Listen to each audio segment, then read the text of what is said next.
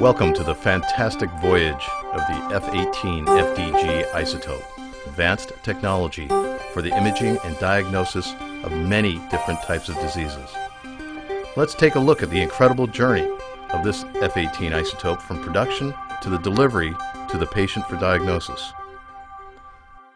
In the F-18 FDG production process, a hydrogen molecule is first ionized to a positive charged proton.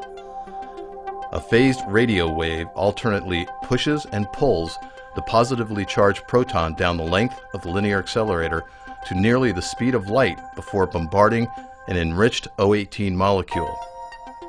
The targeted O18 is converted into F18 radioisotopes. The F18 isotope is then used to combine with mannose triflate to make F18 FDG in a CGMP compliant laboratory.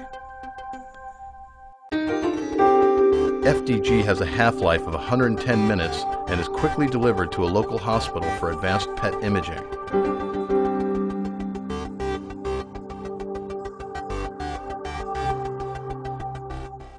After intravenous injection, the smart molecule F18FDG will home in at patient tumor sites.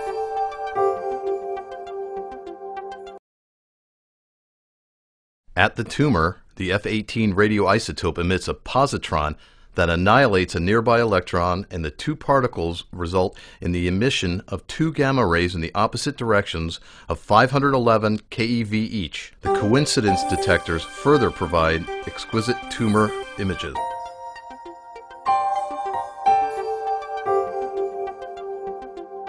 Advanced Medical Isotope Corporation, as a producer of this vital imaging product, provides the medical profession with sophisticated tools to better serve the American patient.